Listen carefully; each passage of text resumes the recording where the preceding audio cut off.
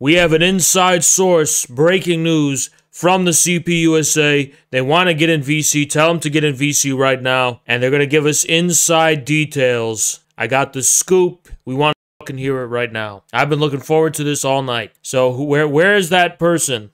Here they are. Hello. Yo, can you hear me? Are you the CPUSA guy? That's me. Did for did you get expelled? I take it you got expelled, right? No, but I'm pretty much going to do some self-expulsion if so. It's I think it's time for me to make my exit. If you understand. Sure, it's it's uh, down, obviously it's always down to the individual's choice. Tell me what exactly you saw and what you witnessed that pushed you over the edge.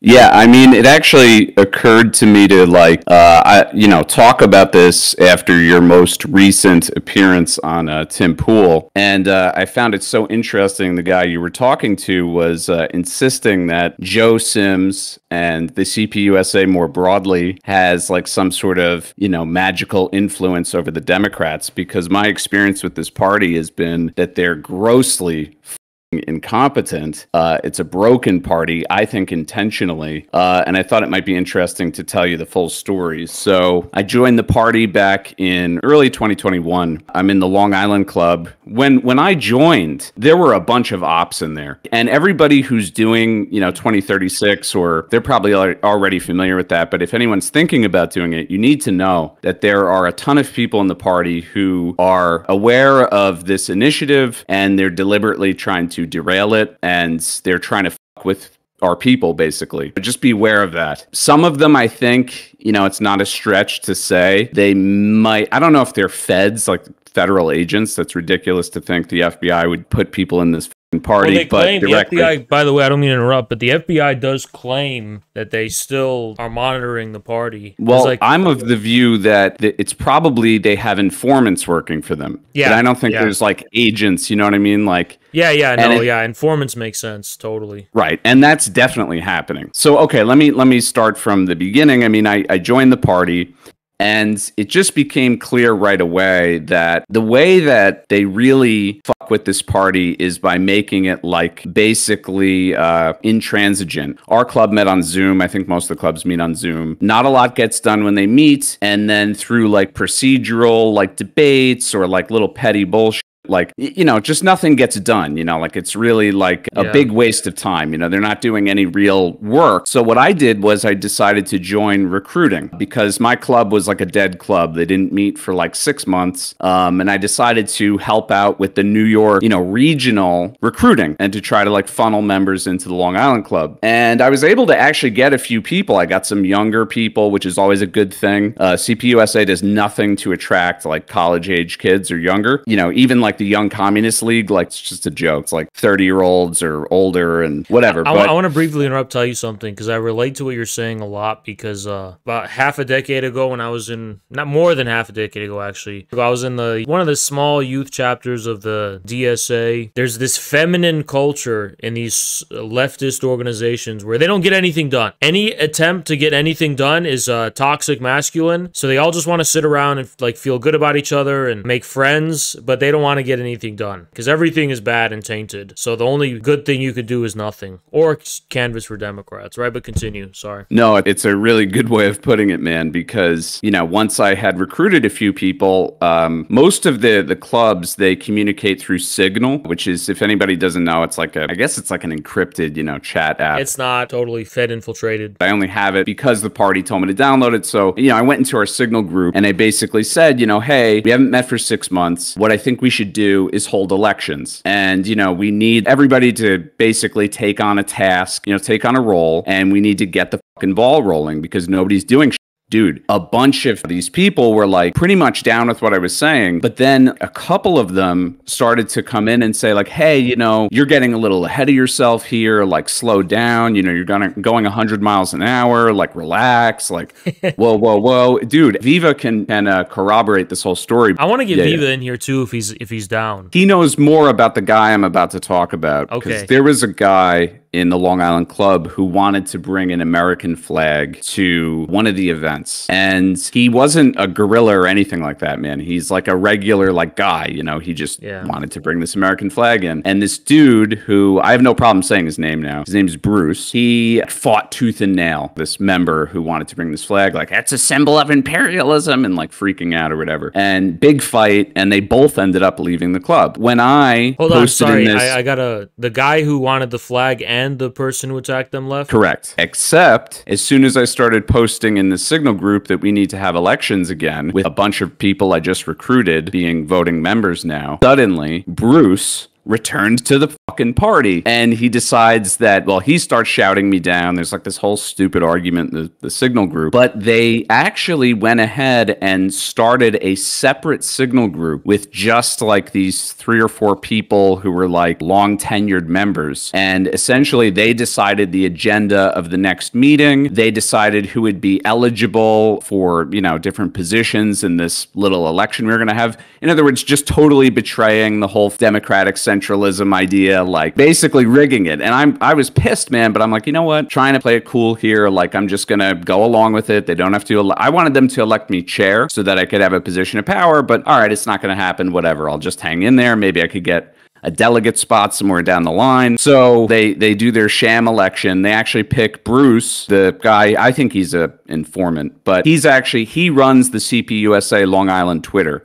So if you see that on Twitter, that's him. And Viva was actually trying to get that back from Bruce when Bruce left the party. It- they wouldn't give it to him. Uh, there was like a whole fight over it. Bruce didn't have to give up the account, even though he wasn't in the club. It's joke, man. Like these people like play by their own rules, but then they get really rigid about rules when you want to do anything. So yeah, I don't know, whatever. I made it through that whole saga. And okay, I want to ingratiate myself to these people now because now we're at odds. You know what I mean? Uh, they tell me that the party is having an event called uh, the Road to Socialism event, meeting at the party headquarters, which is in Manhattan, which is like, you know, an hour away from where I live. You know, I'll check it out. I mean, what's it's a weekend. I'll come by each day and I'll get to meet some people. Dude, I, I didn't really know what I was walking into. I thought like I thought like Joe Sims was this high up guy, you know, you have to spend a lot of time in the party to get to meet him. I go to their building. They're in like an old hotel in Manhattan. I walk in and I'm right away greeted by none other than Taryn Fivek. Oh, And there we go. I'm not cammed up right now, but um, I actually do stream. Uh, if anyone's seen me before, you know I'm like a bald guy. Like I'm a normal looking, ki- like kind of masculine guy. You know what I mean? And I walk in and I'm like counter this woman, and she's like, "Oh, hi, who are you?" And I'm like, "Here we go." And right away, I think she's assuming like, "Oh, this is one of those." You know, infrared people, and I, I try to like, you know, sweet talk her a little bit. I'm like, no, oh, hey, you know, I'm new, blah blah blah. like, and and she's like, oh, well, are you going to be at the protest tomorrow morning? And I'm like, I uh, don't know if I I, can honestly, I don't want to interrupt you, but it really sounds like she was flirting with you. You know, just the way she was. You know, let, let me tell you something. If she was flirting with you, it would have been your responsibility. Take one for the team. Dude. Double agent, honeypot, infrared. You know, I'm sorry, but this is your responsibility. But anyway, continue. Yeah, man. Well, it's funny you should say that because uh, there may have been an opportunity, which I'll get to in a second, but.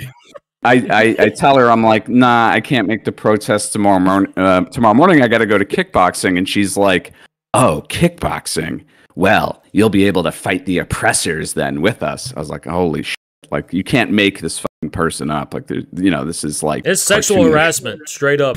but okay, I'm walking in, and bro, like again, if anybody hasn't joined, I don't want to discourage anybody, you know, but I'm in this place. I go around these people, dude. It's fucking gross. Like the people in this party are gross people. They really are. They're like, but like all the stuff we talk about online, like soy boys and all. Like, it's the real deal, man. These are like people that look like they're made of like a like a, a paste or like a jelly. It's and very uncomfortable being around them. I was like, Ugh, I felt like dirty being oh, in trust this me, I've building. uh, I've been in contact with a lot of people from all over the country, and half of these chapters are polycules, and they're full of the chromosome abundant, and they all are in a polycule, and they're there's a, different gender for every single member of the polycule, and it's it, it really is like that. Like, you know, I'm going through and I'm meeting everybody. Everybody's very suspicious, kind of like looking me over, and I'm like, hey, what's up? And they're like, hey, uh, oh, you're new, huh? Like, they all know, like they all have a feeling. And uh, I run into Bruce, the wrecker guy, you know, and I'm. He, it was very weird. It's very high school, you know. He was he's like a guy in like his fifties, and he's like pretends not to see me, and like another party member had to introduce me, and he's like, "Oh hey, you know, nice to meet you." It's like very weird, catty, kind of like like you said, feminine, passive aggressive environment. Oh, Viva's And- here.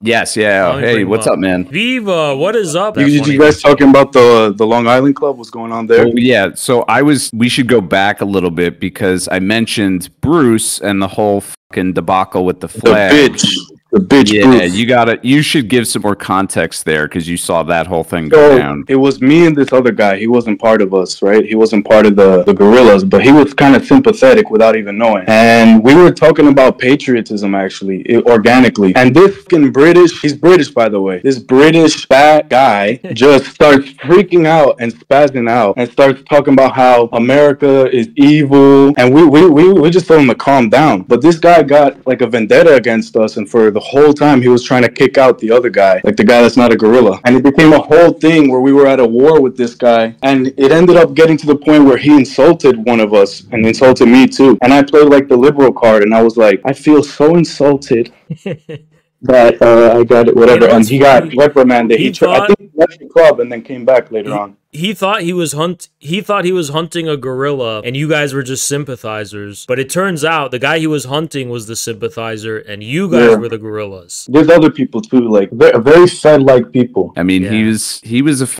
total op, total pain in the ass. Yeah, I mean, like whatever. now i want you to continue the Taryn stuff because it seemed like there were some steamy spicy things you were going to tell us about your potential entanglement with Taryn Fivek. Of course, for the greater good, obviously, for the cause. Oh my Um, god, I don't know if a greater good exists that could justify that, bro. But I, I'm in there over the weekend and whatever. I met Joe Sims. Again, I thought like, hey, this is the head of the party. Like I must have to wait at some time to meet him. He's just rolling through the you know, the the headquarters rolling all over the place in his little scooter. And I met him. And dude, you talking about that guy about Joe Sims, I was laughing my ass off. He's like a, he's a feeble old man, you know what I'm saying? Like he's so fucking like he's like our Biden, really. Yeah. I mean, it, it- it's sad, you know, and it's a, it was weird and you know a little uncom- he was like falling asleep during the speeches you know they're doing all these speeches where it's like some 20 year old kid telling everybody that they're racist and joe sims is like half asleep. I felt like i was in a retirement home slash polycule slash special ed meeting you know? It was f***ing weird. So the end of the night friday night a couple of these people turn to me and they're like hey are you interested in sleeping over? And i'm like Huh? um What, the heck? Wait, who, who asked you to sleep over? I'm trying to remember exactly who it was because you know there's a bunch of people there, but uh, it was a male member. I'm pretty sure, you know. Ah! And, and What the f- Well, and I'm like, um, you know, I'm not, I'm not really interested in doing that. And they were like, well, why don't we just show you where the beds are? Bruh, they got beds? Dude, so they have like a, I forget if it, it's another floor, I'm pretty sure. It's like a weird building. It's kind of hard to remember the layout, but it's another floor and you go down and it's like tiled, you know what I mean? Like hard tile floor. This is like the horror story I gave, but I even know what their compound looks like. Bro, it's like fucking hostile. Like you're walking in, you're like, okay, somebody's gonna get fucking massacred in here. Like I just know it. The rooms are like, you know, dorm style. And like there's no fucking way I'm sleeping in like a, you know, a, a murder bunker in this godforsaken building with Taryn Fivek and Bruce and these fucking freaks. So Bruce I was there? there. Well, yeah, Bruce was there, dude. Wait, Bruce these was were, there. were these bunk beds? I didn't even see the beds themselves, but but they had like a bathroom with a shower. It's weird, dude. The whole setup is very strange. I seriously, anybody doing 2036, go to the party headquarters. Pretty sure if you're a party member, you can more or less just walk in. Tell us about this sleepover and what, because this, I think this, you know, go ahead. Well, that's the thing. I, I didn't stay. I, w- I kind of wish I did for the story, but it was very uncomfortable. And, you know, I, I got out of there. It, it felt like, dude, all the horror stories people hear about anime convention type people where, like, they all end up, you know, having sex with each Oh other and God, everybody's so- mad. Wait, do you think these sleepovers were actually like sexual in nature? They're like doing in these beds? I don't know, bro. Like these are like adults, you know, and like I would imagine, like, what are you doing sleeping over in like some fucking weird ass, like, you know, there's got to be something sexual going on, you know, like, and it was mostly guys, uh, biological men. And then two women, Taryn being one, and this other girl who was nice, but she had like insane pit hair. It was fucking weird. I, I would imagine they got to be banging. Like, there's got somebody has to be having sex there, you know, some sort of gross, weird sex. It was very uncomfortable, the whole thing. Right. Um, and then, you know, they really frowned upon me not sleeping there. Like, I think that made them more suspicious because I came back the next day and a bunch of people were like, why didn't you stay over? Why didn't you stay over? And I don't And know how did you ask them, them like, like what they were doing? That like, well, okay, what did I miss out on? What what were you doing? I probably should have pried, you know, like, yeah, you oh, probably what, should have asked, like, oh, what did I miss? Right. What were the fun uh, sleepover activities I missed out on? You know, was there like uh, strip poker or something? They're weird people. You know, who knows what they're doing in there? Um, there was that whole experience, and dude, like the all these people, they have like uh, you know literature, and they do like these long speeches, and they you know these people are fucking idiots, dude. Like they don't Yeah. say anything of, of insight or substance. They ramble. Everybody's racist. Everybody in the party is racist and sexist, even though it's like all old boomers who so are like, like, what they're do what they do is like this kind of self criticism thing where they're like there's structural racism and sexism and the is that what they do or Exactly. Ah. Exactly. But bro, like there are people in the party. I mean, Viva knows who are like, can I ask know, a question? Does Taryn ever like atone for her whiteness ever? Like does she ever say No. as a white No, woman? Never. She No, 'cause was she's a woman. and she. I, I feel like she was like a like a. She feels like a queen overseeing her slave ass simp army in that chat. so she never was like, oh, as a white woman or as a white person, I truly want to step aside and kneel. They like she never was like, I ne- I want to humble myself because I that's No, what they do, right? Or I, I think that's what I expected. But okay, one of the speeches that weekend, uh, but he's from a, I think the Queens Club, and he did a whole speech on like race or whatever. And he's a black kid. He's one of the only black people there actually. And she did not say a word the entire time he spoke or talked about anything. I don't think she shared anything. But you, Haz, and you know people in this sphere of the internet did come up during that conversation. Someone mentioned, you know, pat socks, and it was so weird. Like you see these people, like it's like they poke their heads up, like almost like whack a mole, and they're like, well, those are just fascist. It's kind of crazy that like a significant percentage of the party is like committed to stopping 2036, you know, like that's really their that's why their that's why in other chapters I've observed this, but for the ones you guys were observing, didn't some people just join the party just to stop 2036? It was like, yeah, I, I've heard of that. Like people Yeah. just were obsessed with that, and it was a bunch of actually DSA type people. Right. that It was like joining. DSAers who joined just to be Wow. counter 2036ers. They joined to be counter 36ers, I guess. There were some people that actually, it's kind of corrupt. Like some people would actually try and join. They weren't even part of the party. It's just that they knew old people who were in the leadership and they, they got to join. They weren't even communists. And they were going and, and speaking in meetings, they were talking about random stuff that doesn't even matter. Well, that's what happened with Bruce. Like he left Yeah. And then he arbitrarily comes back and he's like a voting member and deciding shit and still running the he ran the social media even though he wasn't in the club for like I don't know, Viva. When did he leave? He was gone for like a, a fucking year and they Yeah, wouldn't turn the social media over. No, he, he kept it. He was, and when he was gone, he was still posting on it. He, the motherfucker hijacked, hijacked it. So I want to ask a question. This do they do? Do they clap or do they snap or what? Or jazz hands? or do they I think clap? it was more Maybe of they a clap. clapping. I think I think from what I remember from the conference, I think there was a fair bit of clapping, not a lot of snapping. Or Okay, uh, they clap. That's okay. That's a start. Um, what about the point of personal privilege stuff that the DSA convention is that is that No. anywhere? Or? Okay, No, Got it. no. Thankfully, um, it's not that bad. You know, it's very weird though. Like, like they have. It's kind of sad. They have like stacks and stacks of like collector's edition, like Lenin's full, you know, full works. You know, Marx, like really, really old books. Like it clearly, and they have like these shrines up with like Gus Hall and all these like important people, the history of the party. Uh, really don't emphasize Mao and no Stalin at all, of course. But Yeah. it's just the contrast between like these some of them like legends, you know, in this broad movement historically, uh, versus you know like Taryn Fivek and like the girl with pit hair, and like they're fucking talking about how everybody's racist. It's it, it made me feel like I want to take this building back. You know what I mean? But the struggle So is like, like, the building itself was kind of rebelling against the perverts that were occupying it and doing unspeakable things on the bunk beds. Is that what we get or Exactly. Exactly, dude. Exactly. I don't know. It's it's a little bit like again, not trying to like demotivate or whatever. Like, but part of the I basically decided to leave because I just you know I don't know about Viva, but like I kind of felt like I'm putting in all this work.